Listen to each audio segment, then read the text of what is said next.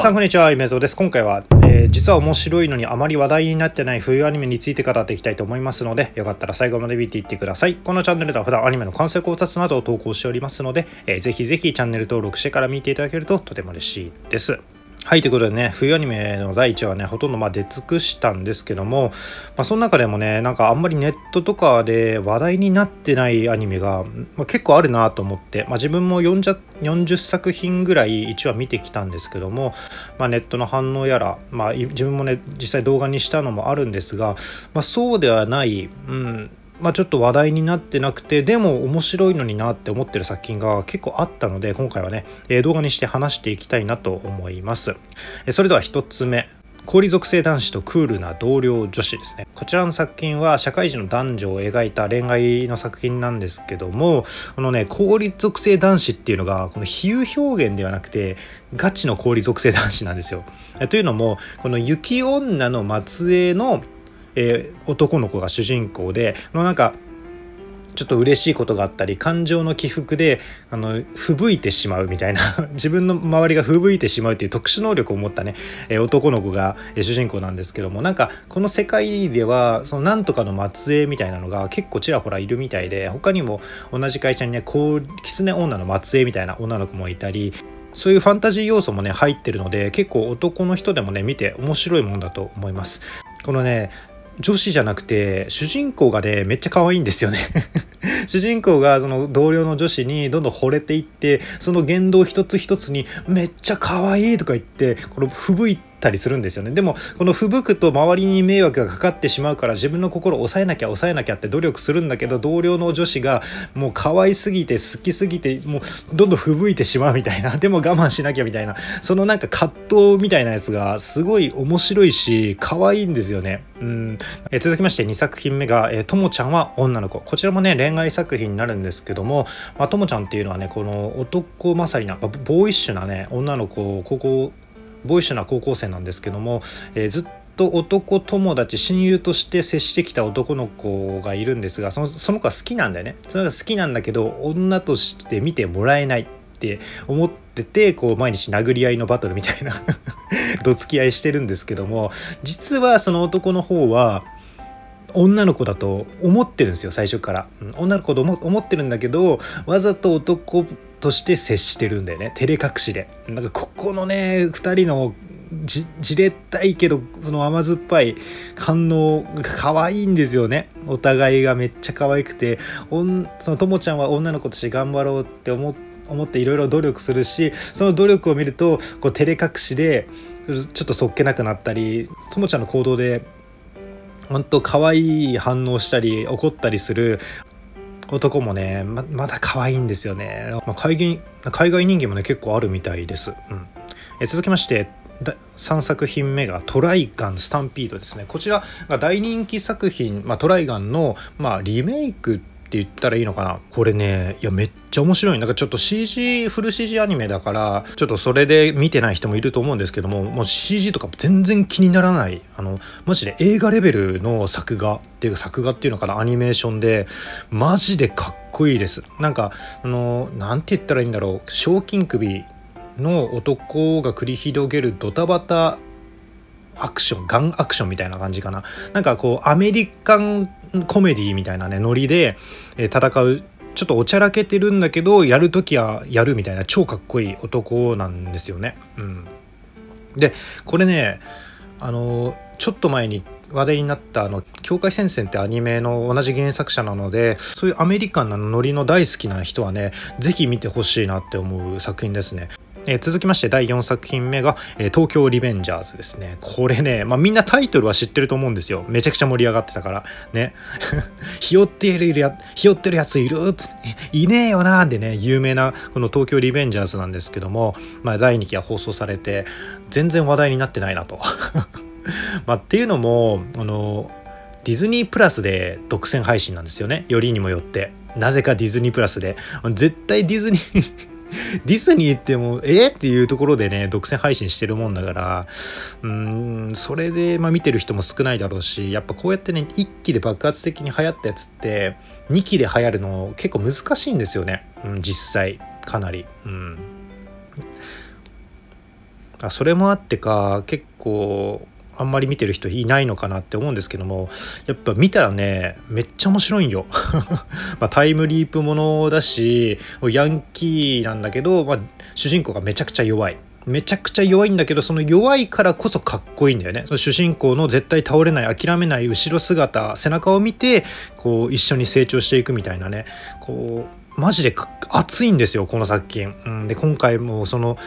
超強敵がねまた出てきてそれにどうやって立ち向かうかっていうね面白さがあるので是非見てほしい。うんえ続きまして5作品目が吸血鬼すぐ死ぬですね。こちらも、えー、第2期になるんですけども、吸血鬼と吸血鬼ハンターの2人を描いたね、コメディ、えー、作品になるんですけども、まあ、貴重なね、ギャグアニメなんですよ。ほんとね、面白い、見てて。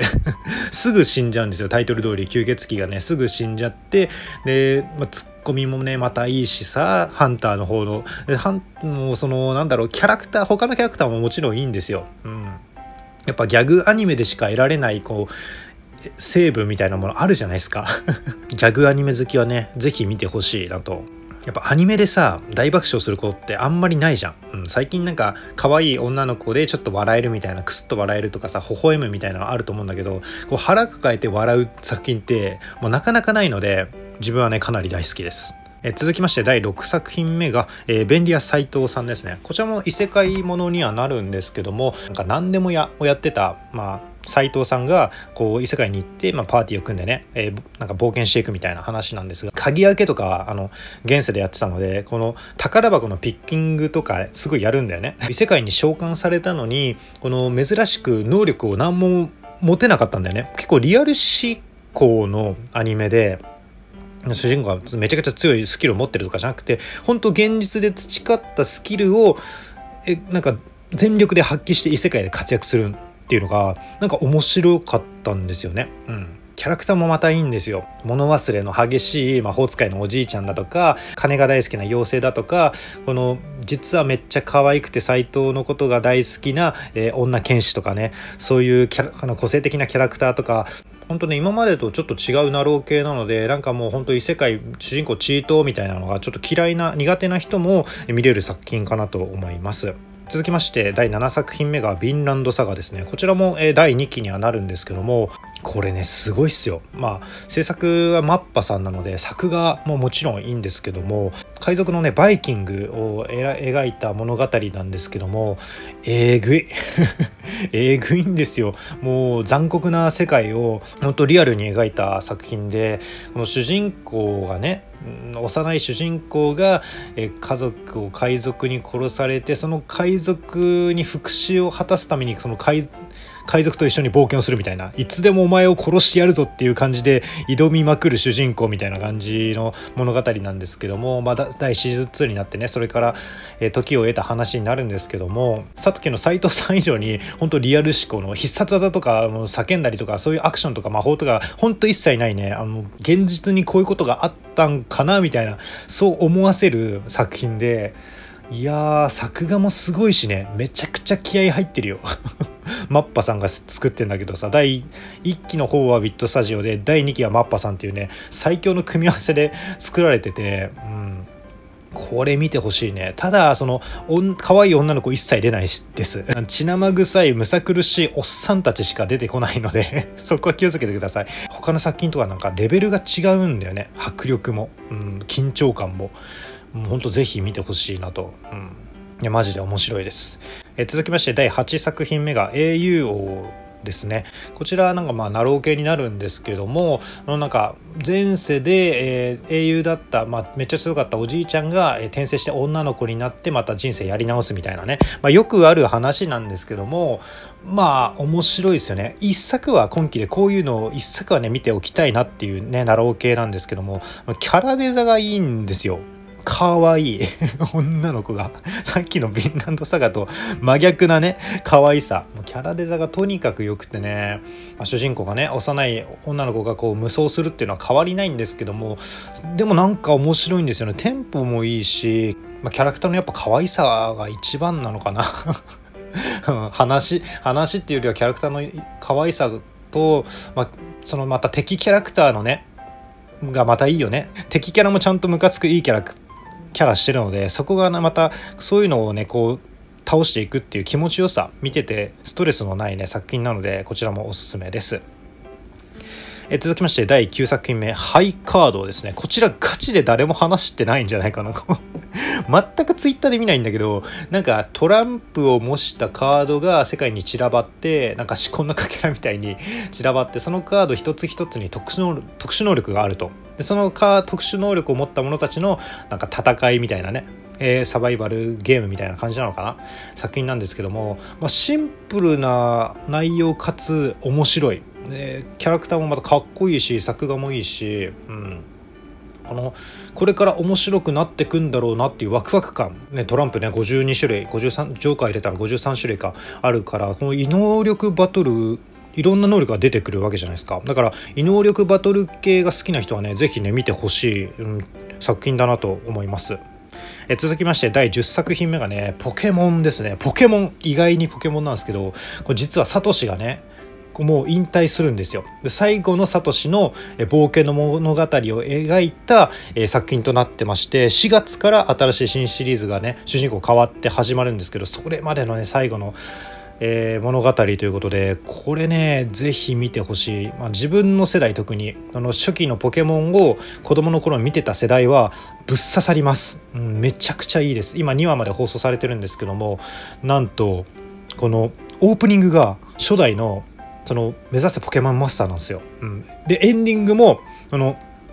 タイトル忘れちゃったけど初期のやつでおねそのオープニング流れた時もめなんか泣きそうになった。うん、その、まあ、映像も映像も初代のままなんだよ。ちょっと新しい映像がこうちょくちょく合間に入ったりするんだけど「ポケモンゲットだぜ!」のあのサトシの声の歌やっぱ大好きだなって、うん、ポケモンやっぱいいなって。サトシもさめずその昔の懐かしいポケモンを出してくれんのよね。だから多分この最後のこのしサトシの冒険で全員出てくるんだと思うんだけど2話ではねかすみも出てくるし次回予告見た限り次たけしも出てくるからほんとねぜひ見てほしい、うん、これ見るしかないでしょサトシの最後の旅。この子供の見るものだって思って見てない人いると思うんですけどあの面白いです 普通に普通に全然面白いんで見てほしいなと思いましたはい、ということで以上、実は面白いのにあまり話題になってない冬アニメの第10選でございました。えー、いかがだったでしょうか？この他にもね、魅力的な作品まだまだあるので、よかったらね、皆さんもこう、えこれ面白いのにな、みたいな作品があれば、あの、コメント欄にコメントしてくれるととても嬉しいです。このチャンネルでは冬アニメの動画、え毎週更新しておりますので、よかったら高評価とチャンネル登録もよろしくお願いします。それではまた次の動画でお会いしましょう。バイバイ。